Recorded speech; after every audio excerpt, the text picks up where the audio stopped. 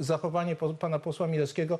Tak mnie uczono. Nie, niestety, jak pan z domu wyszedł i pana kultury nie nauczono, to obrażajcie. myślę, Nie, że- panowie, ale że- akurat jest... Sorry. Przepraszam, Rodziców, panowie, przepraszam. przepraszam, Nie, panowie, przepraszam, panowie, Panie pośle, panowie. rodziców pan mi obrażać nie będzie. Panowie. Dziękuję bardzo. Nie, ja, no nie, dajcie. ja nie do Panowie, rodziców, yy, tylko do pana. Państwo, jeżeli... Jest niewychowany. Państwo... Nie. Buta, buta doprowadziła was do tego miejsca, gdzie jesteście dzisiaj.